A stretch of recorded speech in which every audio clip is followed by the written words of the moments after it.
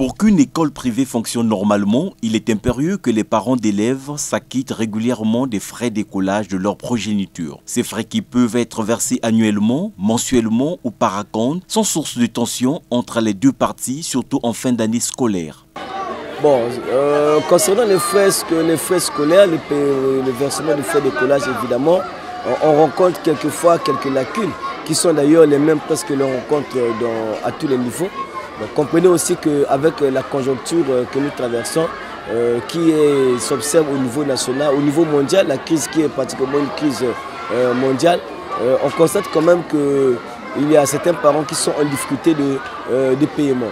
Mais pour cela, quand c'est comme ça, on ne peut pas peut-être se lancer dans une opération brutale ou encore une sorte de chasse aux sorcières. Non, au contraire, nous nous rapprochons des parents, nous les contactons, nous les appelons et nous demandons surtout à nos parents de se rapprocher de la direction, de venir vers nous et on s'accorde toujours.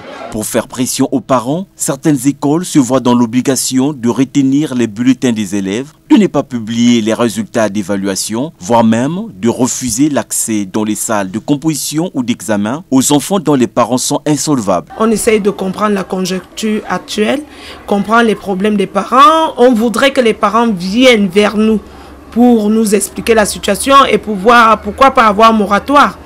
Mais nous avons certains parents qui ne viennent même pas vers la direction. C'est-à-dire, un parent peut accompagner son élève, étant très loin, il observe euh, en cachette, il envoie l'élève. Mais nous, on ne peut pas renvoyer l'élève à la maison. Les moyens de pression, c'est quoi? C'est que à chaque fois que le parent euh, va voir le, euh, le cahier de liaison, il y aura toujours la fiche là de, relancement, vous devez à l'école, il faut venir payer. Les parents d'élèves sont divisés sur ces méthodes de pression utilisées par les écoles privées. Si nous avons pris des engagements à inscrire des élèves dans ces écoles et nous connaissons euh, le coût qui part avec la scolarité de l'enfant, mais en cette période-ci, deux fois, il arrive des difficultés financières. Et malheureusement, vous vous retrouvez dans une situation où l'école, on va dire séquestrée, euh, les bulletins de l'enfant, soit on menace même un enfant de ne pas participer aux compositions de fin d'année. Tout ça parce que le parent n'a pas payé euh, les frais d'écolage de son enfant. Alors que nous sommes en relation, toute la scolarité de mon enfant est censée se passer dans votre école.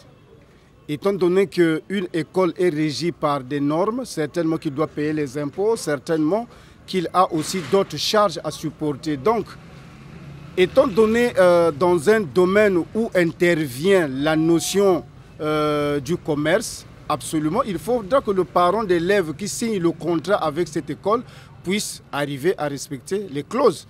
Et si le parent ne respecte pas les clauses, malheureusement la victime ce sera l'enfant. Écoles privées et parents d'élèves devraient développer des rapports sains en vue de garantir la bonne éducation et l'instruction de nos enfants, gage de réussite.